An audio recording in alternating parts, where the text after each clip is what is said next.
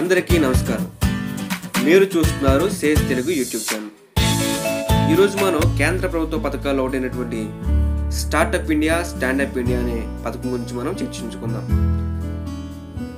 కేంద్ర ప్రభుత్వం దేశంలో ఉన్న నిరుద్యోగ యువతకు పరిశ్రమ ఏర్పాటుకు కొంత అవకాశాలు మనకి అందిస్తుంది. ఆ అవకాశాలు ఏ విధంగా ఉంటాయో మనం ఈరోజు ఈ పథకం ద్వారా తెలుసుకుందాం. Startup India standup India.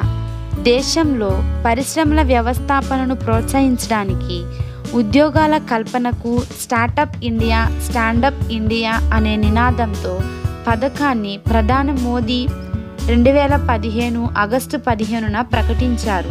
వినూత్న వ్యాపార ఆలోచనలు పరిశ్రమలు నెలకొల్పే ఆలోచనలున్న వారికి చేయూతనివ్వడం కోసం ఈ కార్యక్రమ ప్రణాళికను రెండు వేల పదహారు జనవరి పదహారున విజ్ఞాన్ భవన్లో ఢిల్లీలో విడుదల చేశారు.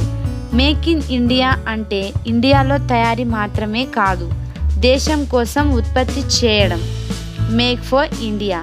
ముప్పై ఐదు లక్షల మంది యువకులకు ఉపాధి కల్పిస్తారు.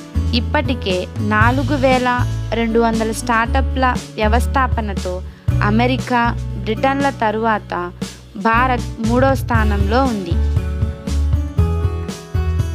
స్టార్టప్ ఇండియా ప్రధాన అంశాలు. స్టార్టప్ పరిశ్రమలకు మూడేండ్ల పాటు ఆదాయ పన్ను మినహాయింపు. స్టార్టప్లకు నిధులందించేందుకు మొదట రెండు వేల ఐదు వందల కోట్ల నిధిని ఏర్పాటు చేస్తారు.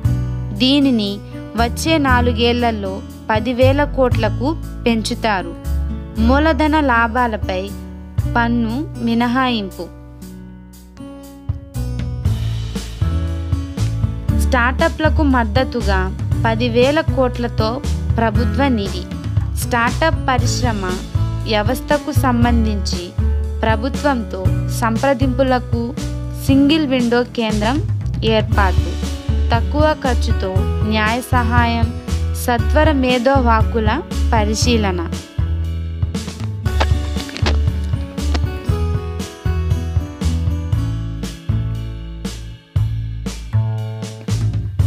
దివాలా బిల్లు. రెండు వేల పదిహేను సత్వర ఆమోదంతో స్టార్టప్ పరిశ్రమలు సులభంగా మూసివేసే అవకాశం. రంగాల వారీగా కొత్త పరిశ్రమలకు సదుపాయాల కల్పనల కేంద్రాలు. చూశారు కదా ఫ్రెండ్స్? ఇదే స్టార్టప్ ఇండియా స్టాండప్ ఇండియా. నచ్చితే లైక్ చేయండి షేర్ చేయండి సబ్స్క్రైబ్ చేయండి. Thanks for watching.